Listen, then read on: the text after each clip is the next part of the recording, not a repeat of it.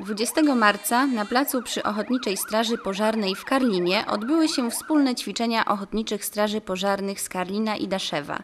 Działania polegały na jak najszybszym uwolnieniu z samochodu poszkodowanego w wypadku drogowym.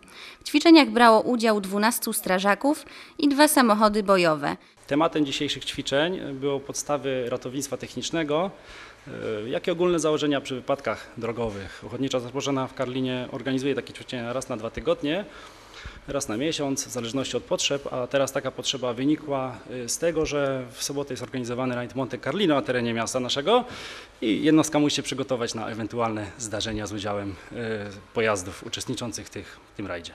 Używając specjalistycznego sprzętu, strażacy pocięli karoserię samochodu, zabezpieczyli i przenieśli rannego na desce ortopedycznej w bezpieczne miejsce.